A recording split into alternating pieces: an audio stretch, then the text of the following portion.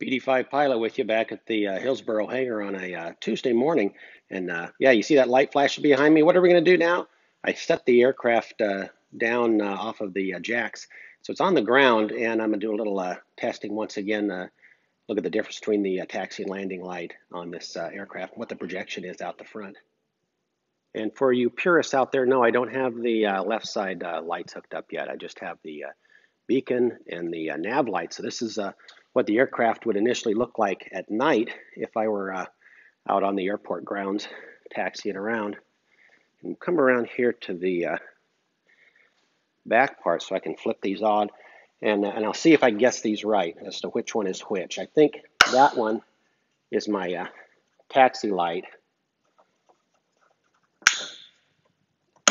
and that one is my landing light because I think one's brighter than the other. And I can have both of them on or just one. And with both on, that's the uh, illumination I get out forward. And uh, what I might have to do uh, next step is to come out here at night actually and look at what the uh, open the hangar door at night so it's reasonably dark out here and see what I've got. Of of course, one of the things I dislike about having the wingtip mounted lights is uh, you see the shadow line basically right there where the nose of my aircraft is. I really get no real illumination on the uh, nose itself.